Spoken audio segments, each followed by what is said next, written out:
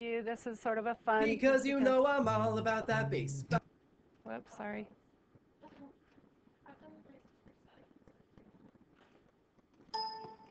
that bass, no acid. I'm all about that bass, about that bass, no acid. I'm all about that bass, about that bass, no acid. I'm all about that bass, about that bass, bass, bass. Yeah, it's pretty clear. I ain't no science fool. So you got litmus, litmus. Well, I can turn it blue. Make it go boom, boom all over the place. When all the H plus meet all the OHs. Pink phenolphthalein, I think that's straight dope. Mix in a lipid here and it'll make it soap. You want it neutral, neutral pH is low, better set up a titration with a strong hydroxyl drop. Yeah, my lab tech, she told me don't worry about your eyes. If an acid gets in them, we just have to neutralize. You know I love me, my stomach, and all the things it dissolves. But my powder keeps it from eating my intestine walls. Because you know I'm all about that bass, about that bass, no acid. I'm all about that bass, about that bass, no acid. I'm all about that bass, about that bass, no acid. I'm all about that bass, about that bass. I'm gonna do the math to figure out the ratios to react. Stoichiometry, yeah, that's where it's at. And it'll tell you to prepare at least one molar for your hydroxyl drop. Yeah, my lab tech, she told me don't worry about your eyes. Cause if acid gets in, we can fix it with alkali. That always, always, that, that always know I love me, my stomach, and all the things it dissolves. Bond that keeps it from meeting my intestine walls. Because you know I'm all about that bass, about that bass, no acid. I'm all about that bass, about that bass, no acid. I'm all about that bass, about that bass, no acid. I'm all about that bass, about that bass. Because you know I'm all about that bass, about that bass, no acid. I'm all about that bass, about that bass, no acid. I'm all about that bass, about that bass, no acid. I'm all about that bass, about that bass. Ooh, ooh, ooh, Okay,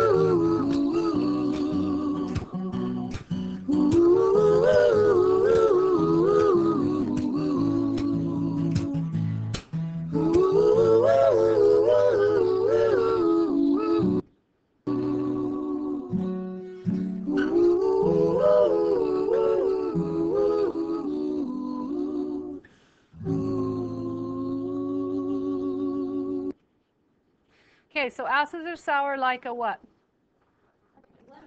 Lemon. Lemon. And bases are bitter like? Soap. Okay, so what are the strong acids? What does strong mean? This is just review, real quick. How much ionization? So strong means what? 100%. So it's very strong. They put split in the ions. So weak means what? They don't ionize as much, 1 to 5%, right? So strong acids, remember the swooping down. We've got our oxy acids and we've got our binary acids, right? And then our strong bases was a tetris pattern. Sometimes they include our rubidium and cesium and make a B over there, but rubidium and cesium are hard to come by, so usually they don't. Okay, so remember we've got Arrhenius in the center, and its definition was H plus and OH minus. We've got um, Bronsted-Lowry, one step out, proton donor for the acid, proton acceptor for the base. And one more step out from that, we've got Lewis, and Lewis is an electron pair um, acceptor and electron pair donor for the base. Now, on Lewis, you make one compound, so it goes to one thing. Bronsted-Lowry, your product is usually got charges. And uh, Arrhenius, you make water and a salt, okay? So going forward, we, we should have already known this. Acid range under 7, base range over 7. 7 is neutral. And no matter if you're acid or base, both hydroxide and hydrogen concentration are present all the time. You did that home lab. Hopefully you realized something from that home lab. What did you test most of? Did you get mostly acids or bases? acids. If you look at the things here, most of the things we eat are acids. If you look past 7 this way, what do you see? bases, but cleaners. Yeah, it's not stuff you really want to eat. Okay?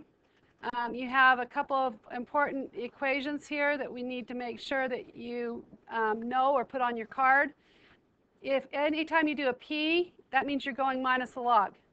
Notice the KW and the pH OH equation. This one adds to 7, this one times to 10 to the minus 14. Um, adds to 14, sorry.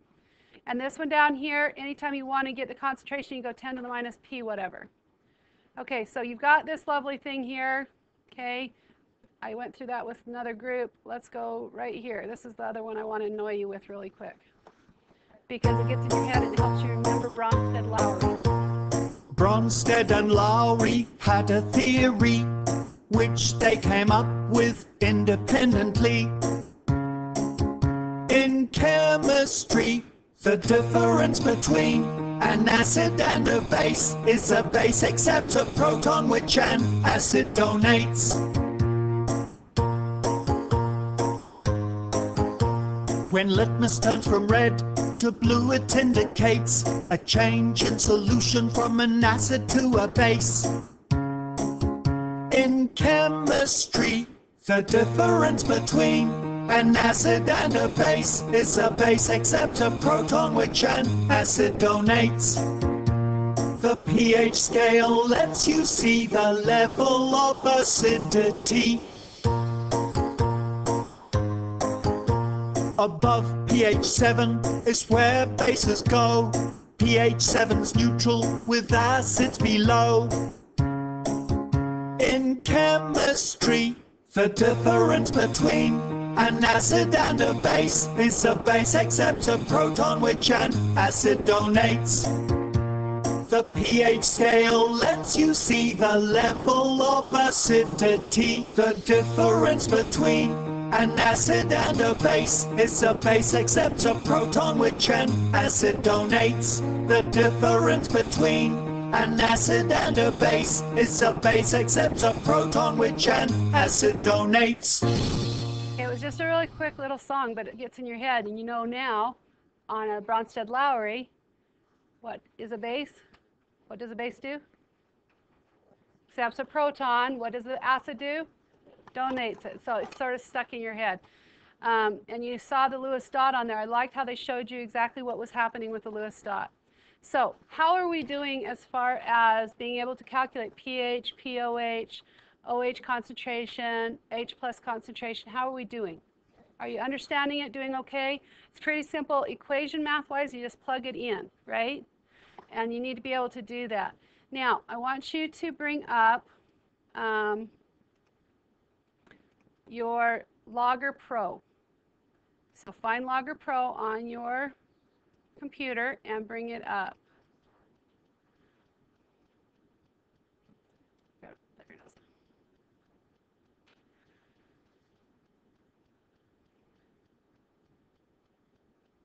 Did everybody find it?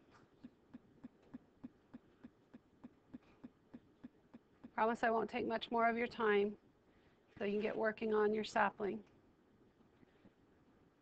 But I want the slab next time to go smooth, so.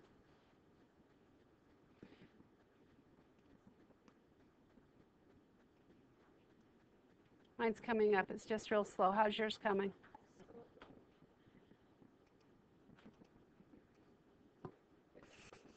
It's not even letting me move it over to the other side yet. Pause this.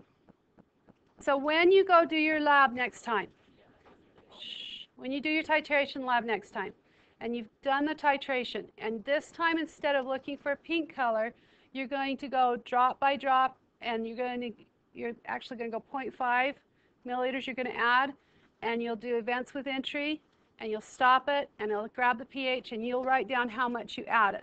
So it will graph it for you as you go. Okay? When you get all done, and a, T, a pH probe, all right, so what you're going to do then is you're going to get a graph, and it's going to look like from an acid, it's going to come and come up like this. That's your titration curve, okay? The weaker the acid, the closer to 7 it's going to be, and the titration curve is not going to be as big. If I start with a base, it starts up here, and then it migrates down. Okay? So what you're going to do in order to get your data in is you're going to go up to the calculator with a tel and you'll click on it. And you'll say USB direct and you'll say refresh the calendar calculator or refresh the catalog. I've got one here so I'm going to plug it in real quick. I hope it has some data on it that we can use. If not, we'll Okay, so you won't be able to get the data up, but you'll be able to follow me through the buttons. And sometimes you have to keep going over and refreshing the catalog. The thing that you need to remember on this really carefully is you need to be out of Easy Data before you hook it up to the computer.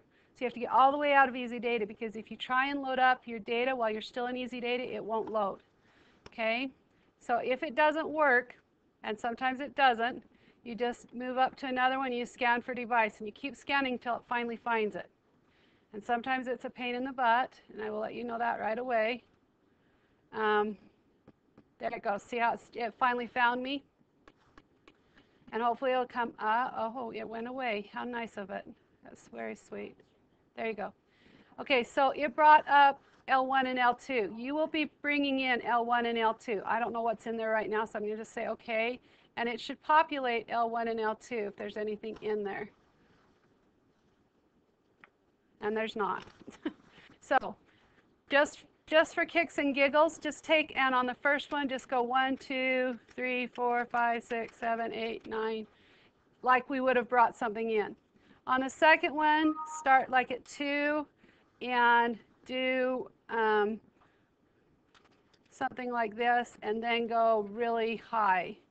Whoops, they went the wrong way. Let's try this again. Two, three. I wasn't looking while I was typing. 3.5, 3.7, 4.8, and then I'm going to jump 8.9, 9.8, 10.7, 11.8, and 12.8. Okay, so I've got my, my data in there. Okay, it should pull it right in for you. Mine didn't have any data to pull in. But when it pulls it in, what you're going to do is, first off, you're going to double click on the L1, and that will be your um, amount of milliliters of NaOH that you add. Okay, so over here I just put NaOH on my short one, and I would I'd say done.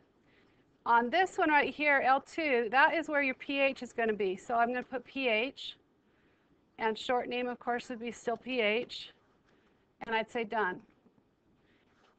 Okay, then to get the graph to show, I double click the graph, and I'm going to put the title.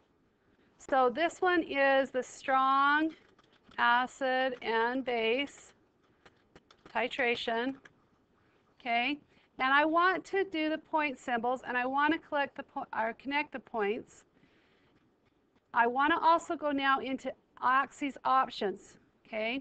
And I want to make sure the things that I want um, are clicked. You'll notice I've got this little teeny itty bitty graph that showed up right here. I don't want an itty bitty teeny graph. I want to be able to see it. So it, it's sort of backwards, but instead of saying auto scale larger, you just say auto scale on both of these. And when I say done, it pops up. Okay? Now, I can add, um, when we print, I can add our names. But the other thing I need from this is a second derivative. And this one we haven't done before. So we need to add another column. So I need to skinny this up. And I need to enlarge this. And I need to go up into insert. Is it insert? No. Data data, new, new calculated column, because I don't want to have to figure it out myself. I want the computer to do it. Okay, so you pick new calculated column. And once I've got that, I'm going to, instead of say CC, I want the second derivative, so I'm going to go SD, and I'm going to say, instead of calculated column, second derivative. Okay, and then I'm coming down here to functions. Under functions, I'm going to go to calculus because second derivative is a calculus thing, and I'm going to pick second derivative. Now, what do I want the second derivative of? I want it to be of um, da-da-da, my pH. And then I just say done. Now I can put another graph on here um, where I say second derivative and say done. And I can see where it goes across. Now I can also add my first derivative by doing the same thing if I want to. So um, insert, whoops, nope, data, new calculated column, and this would be first derivative.